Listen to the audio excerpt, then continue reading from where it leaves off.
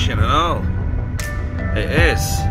So we're off into uh, the scrap merchants this morning to get rid of uh, some of the scrap metal from yesterday and there's a massive fire there. Oh, you can see it and all, can't you, look? Just drive straight in, mate. There's the flames. And he's on weighbridge there, look, so you want to be right back of him. Him down there, he's on weighbridge. Right, good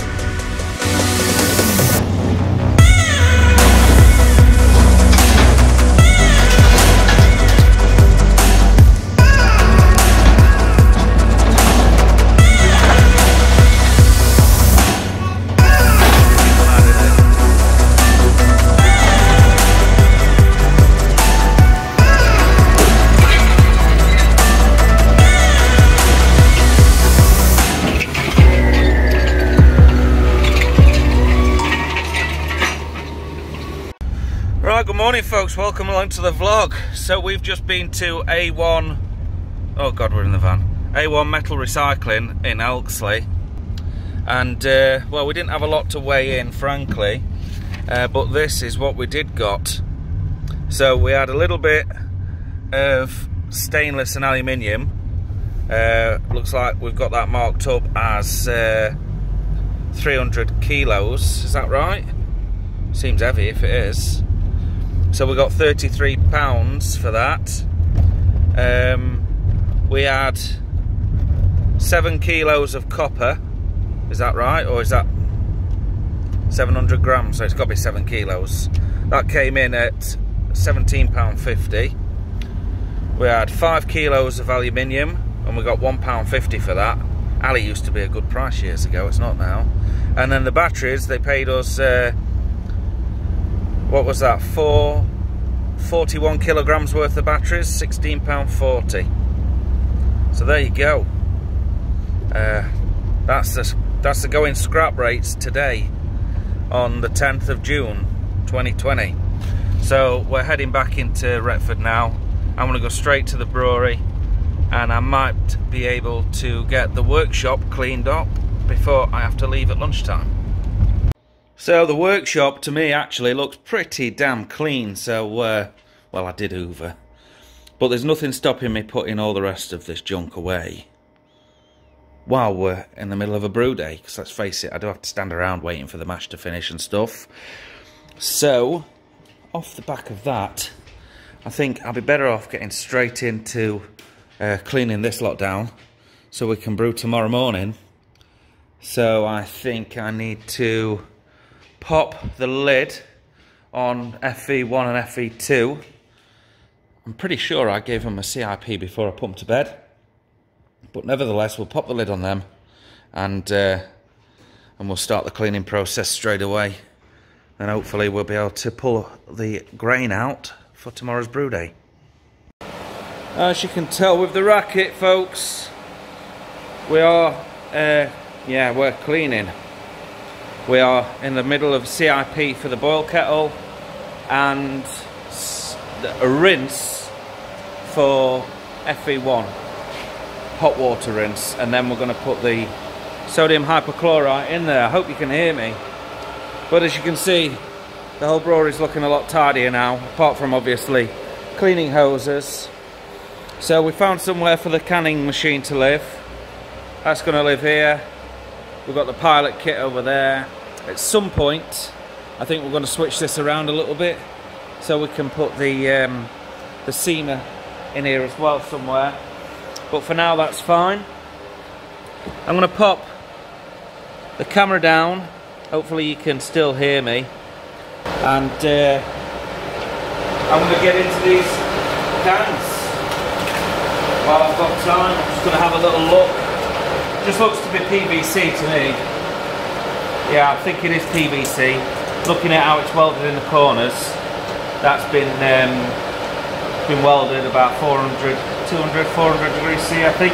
But it's just a PVC frame anyway. So that's squashed. Let's have a look inside. So just change the angle a little bit. So kind of popped him out. I think that's going to be all right for for testing. But there we are.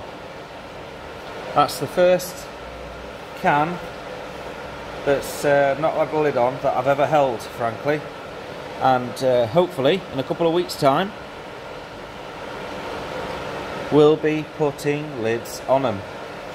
So, how do they stand up on the filler, you ask? Quite well, by the looks of it. Now, I've not got this plugged in, but in a couple of days' time, is there any more? Here's one that's squashed. Look, these two here are squashed. Let's pull them out. See if we can straighten them up. That's not too bad, is it really?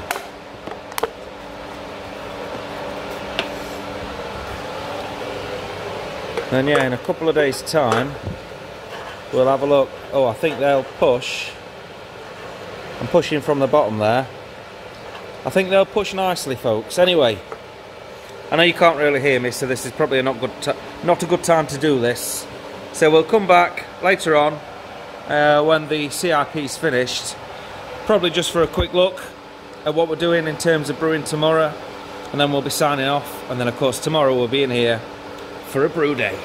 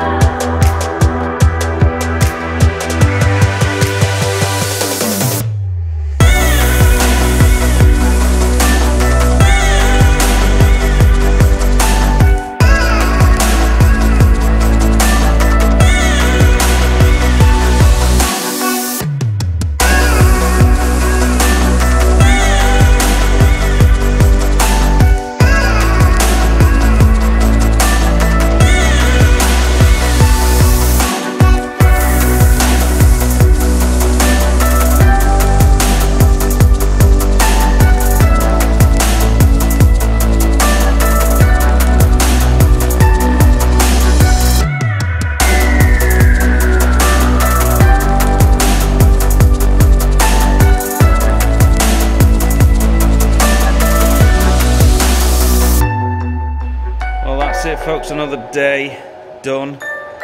So all of this is ready for tomorrow's brew day.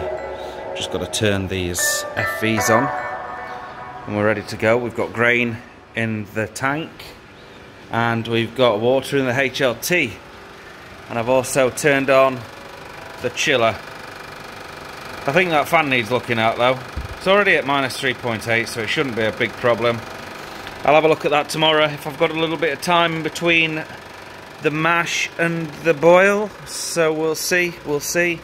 But other than that, folks, it's exciting. We're getting back on track. See you tomorrow. Friggin' right you will.